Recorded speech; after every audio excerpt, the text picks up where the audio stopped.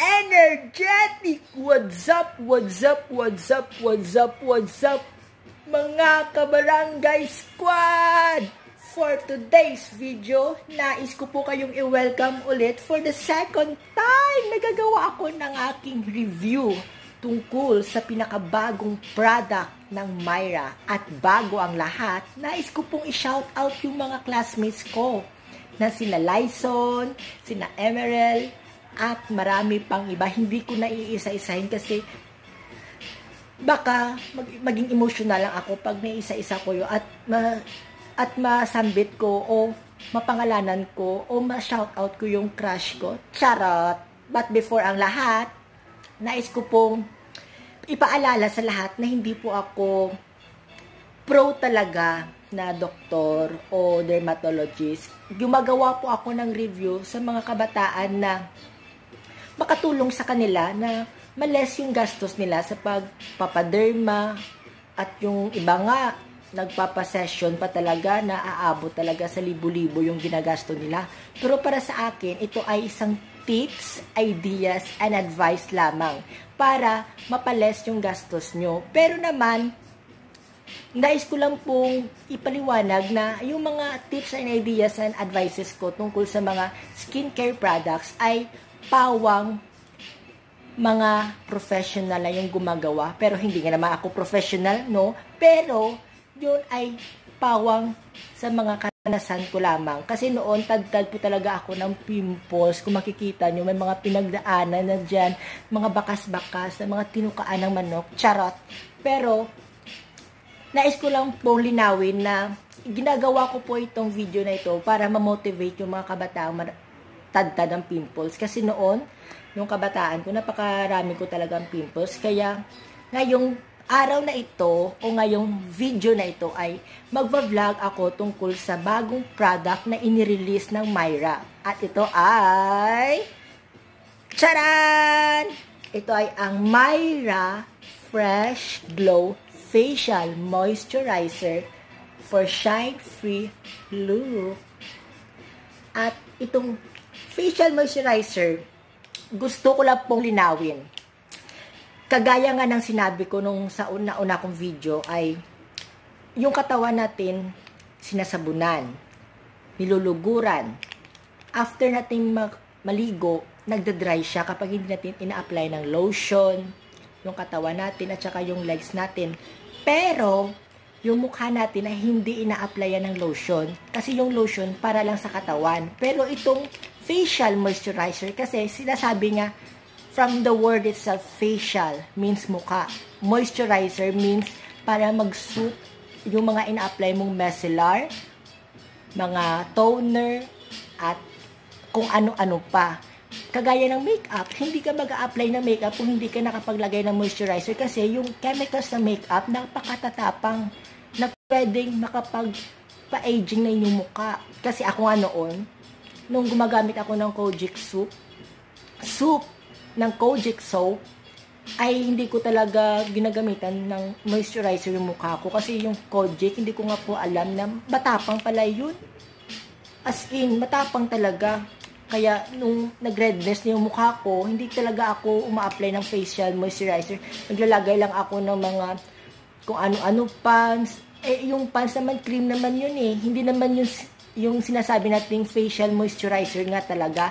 At isang araw, pumunta ako ng Watsons at may nakapag-offer sa akin na sa halagang 11 pesos, makakabili ka na ng Myra facial moisturizer. Pero, disclaimer lang po ha, hindi pa po ito yung bagong Myra na inirelease. Meron pa po siyang isang version na parang faded yung kulay niya.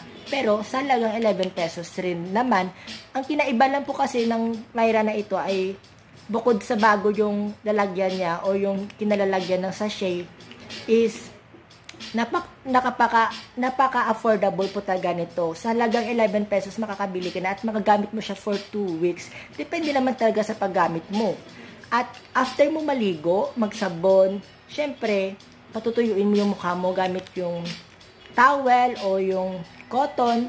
Pero, hindi lang dyan natatapos ina-apply talaga ito. Kasi napakaraming brand naman talaga ng mga moisturizer. Yung iba nga, eh, imported, ang mahal-mahal, kagaya ng Nivea, yung nauna kong review, is imported yon napakamahal. Pero kung gusto mo talaga makatipid, na hindi mabubutas yung bulsa mo, na, ng mga products na ina-apply mo, syempre, napakamahal talaga. Syempre, gagamit ka ng products na affordable na, safe pa, at sulit. Ito, ibiluin mo 11 pesos, dalawang linggo mo na siyang gagamitin. So, disclaimer lang po ha, hindi po ito treatment sa mga may pimples. Ito po ay ginagamit para ma-enhance yung mga ina-apply mong product sa iyong mukha. Kagaya ng mga pimple cream, hindi mo naman talaga i-apply yan ng direkta sa iyong mukha kasi masusunog yung pimples mo, yung balat mo. Dapat uma-apply ka muna ng moisturizer bago ka mag-apply ng mga products o mga gamot na pinapahid mo sa iyong mukha para mag-suit talaga yung yung yung product na ina-apply mo, gumamit ka talaga ng moisturizer. Tandaan, hindi ka makaka-proceed sa isang gawain kung hindi mo sinusunod yung basic steps which is ang pag-apply ng moisturizer ay isa sa mga pangunahing basic steps na dapat nyong tandaan bago kayo mag-apply ng mga kung ano-anong anong mga product pa sa inyong mukha. So, yun lamang po sa vlog na ito at antabayanan po natin yung mga susunod pa nating vlog tungkol sa mga products na i-discuss ko sa inyo kung paano sila ginagamit. For the meantime, sina sinasabihan ko po kayo na just check my Facebook account kasi nandoon yung mga review ko tungkol sa mga dati kong mukha, kung saan nag-improve at yung mga iniinom ko na vitamins at kung ano-ano pa. But before anything else, nais ko lang pong ipaalam sa inyo na kung gusto nyo pong gumamit nito, mabibili po siya sa leading Watsons.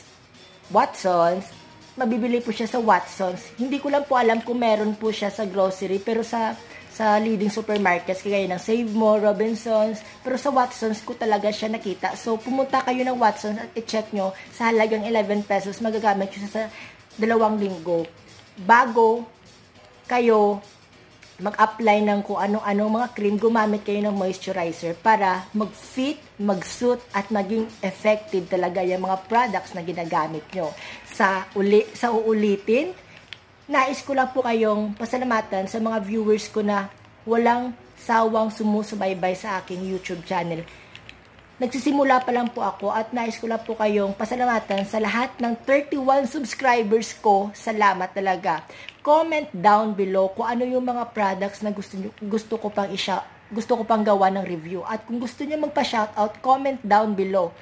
Hindi ko po kayo i-snap, hindi ko po kayo bibigyan ng rason para ma-disappoint na hindi ko kayo papansinin. No! Papansinin ko talaga lahat-lahat ng comment nyo at kung may mga katanungan kayo, comment down below. At sa susunod ko na vlog, sasagutin ko talaga yan. So, yun lamang po at maraming salamat. At huwag kalimutan mag-click sa aking YouTube channel. Just search Dimar Bisana Vlogs and don't forget to click the subscribe button para bongga na!